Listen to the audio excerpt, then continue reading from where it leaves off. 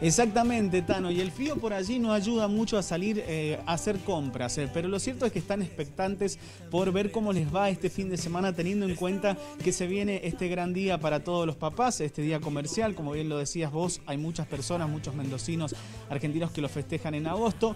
Pero bueno, el día comercial viene este fin de semana y sin duda están eh, expectantes los comercios por saber cómo van a vender, cómo están las ventas hasta el momento. Se lo vamos a preguntar a Juan Retali, que es comerciante también de la Bueno, ¿cómo van las ventas, teniendo en cuenta también el frío y la pandemia, el contexto por el que estamos pasando?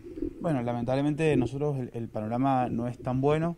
Eh, si bien el Día del Padre es un día, digamos, como el Día de la Madre o el Día del Niño, donde se genera mucho movimiento de ventas, eh, esperamos que estos últimos días, digamos, último el fin de semana, sea ya días de más movimientos, pero lamentablemente hasta ahora lo que se va viendo es que no hay, no hay mucha venta. ¿no? Bien, eh, respecto a las ventas, eh, eh, a los precios más que todo, ¿cómo están? ¿Han incrementado mucho respecto a antes de la pandemia? A ver, sacando puntualmente el Día del Padre, hacia atrás sí, hemos visto lamentablemente muchos cambios de lista de precios desde Buenos Aires, de los proveedores, que, que preocupan mucho. Hay proveedores que nunca en su vida, digamos, en temporada hacían cambios, ahora sí, los van haciendo lamentablemente todos los meses. Lo que sí pasa para el Día del Padre es que el comerciante lo que busca es, digamos, el que vende cosas, productos para papá, busca en ese día eh, liquidar su mercadería y poder generar rentabilidad. Entonces, de alguna forma, bajan mucho los precios, se busca que, que la gente pueda venir y encontrar promociones, descuentos con tarjetas, descuentos en efectivo. Juan, eh, ¿a qué rubro se va a volcar más eh, aquel, aquella persona que venga a comprar en este Día del Padre? Mira, el, el Día del Padre es un día bastante particular en la compra, mucha tecnología, muchos productos de deporte, se compra mucha indumentaria, obviamente, eh, eh, todo lo que es ma- marroquinería, billeteras y demás. Lo que nosotros sí estamos viendo es que eh, la gente igual compra para el Día del Padre, no es que deja de comprar, muchas veces lo que hace es bajar el, el gasto promedio, digamos, el ticket promedio del Día del Padre viene bajando los últimos años y eso hace que compras algún regalito, algo muy puntual, pero no haces grandes gastos. Ayer me tocó recorrer el centro y observaba distintas situaciones. Personas que llegan al lugar, miran, pero todavía no llevan lo que van a comprar para el Día del Padre. ¿Esto está ocurriendo? Sí, sí, suele pasar en Mendoza igual, eso es todos los días, la gente deja para el último momento y ahora con el tema de los, no DNI, digamos, el no número de DNI, creemos que el sábado, el viernes y el sábado van a, va a haber mucho movimiento.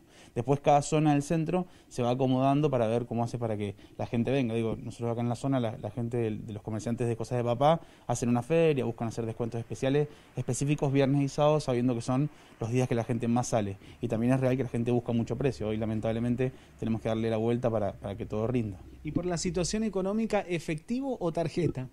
Mirá, nosotros vemos que si bien mucha gente busca, busca la financiación, eh, las 12 cuotas sin interés, hasta 18 cuotas sin interés en muchos locales, eh, también nos pasa que encontramos muchas tarjetas que, que están sin límite y eso es un problema.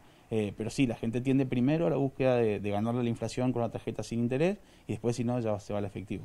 Ustedes eh, a diario miran los comercios, hablan entre comerciantes. ¿Cómo está la situación respecto al cierre de comercios? ¿Notan que, han cerrado muchos en el centro en este último tiempo? Sí, lamentablemente sí. Desde, desde el año pasado, con la pandemia, los primeros que se cayeron fueron los que venían más al límite, pero ahora vemos mucha más preocupación en, en los cierres de locales. Yo un poco, recién hablábamos, en, en- yo soy más chico y, y nunca en mi vida vi eh, la calle San Martín con locales vacíos, digo, con locales con carteles de alquiler. Esos son temas muy difíciles. El tema de los precios de los alquileres también es un tema muy complicado que, que el comerciante sufre día a día. ¿Son muy elevados? Sí, y, y además no hay referencia, eso es un dato no menor, digamos, o sea, ca- cada, cada dueño local cobra lo que, le, lo que le parece, lo cual está bien, pero tampoco hay una referencia para discutir con, con los dueños de los locales. Digo. ¿Y- ¿Y las galerías?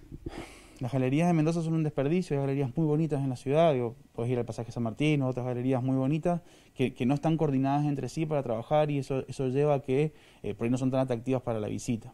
Bien. Juan, muchas gracias. No, por favor, gracias a usted. Bueno, Juan Retali es comerciante, esperan que les vaya bien este fin de semana, nosotros obviamente que también, Tano, todos quieren el regalo para el Día del Padre, lo cierto es que la economía no está del todo bien y ya lo sabemos también por el contexto de pandemia, esperemos que se pueda comprar y que los comerciantes también puedan salir adelante teniendo en cuenta esta baja de ventas que vienen teniendo, ¿no? Muy bien, Pablo, muchas